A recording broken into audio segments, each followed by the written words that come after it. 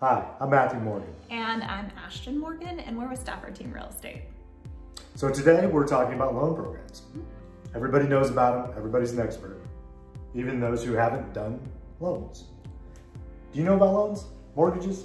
Well, yeah, I mean, there's conventional, FHA, VA, that's pretty much all there is, right? There's a lot more than that. That's like saying there's one shade of red or there's one shade of blue. Okay. Uh, Well, educate me. I, I don't have enough time, but I will say that your average agent is going to act like they understand loans, but they've never actually done loans, whereas I have done loans.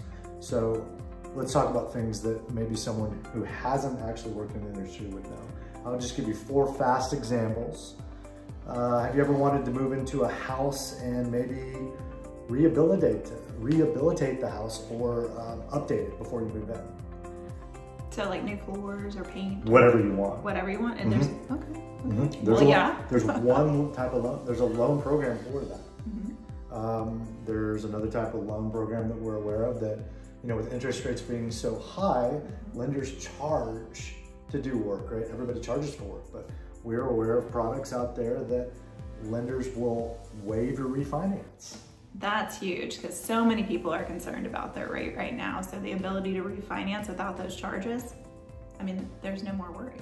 What happens if you're shopping for six months, but you still can't find something to buy? Would it be easier to buy the next house before you sell your current house? Mm, I don't know about that. Oh yeah. Yeah? Yeah, Okay. there's a program where you can literally buy your next house before you sell your current property. Uh, and last but not least, one of my favorites, it's kind of niche, but uh, some people need help with down payments sometimes. I know I did at one point in my life. Have you ever experienced that? Definitely, yeah. Uh, did you know that there's a program where we can actually set up a wedding fund if you're planning on getting married? And rather than getting gifts, you can have people donate That's $20, fancy. $50, $100, $1,000, whatever, I love that. to your wedding fund, and that can qualify as a down payment on a loan. And I don't have to worry about all the things with like when you get money like gift fees or anything like that.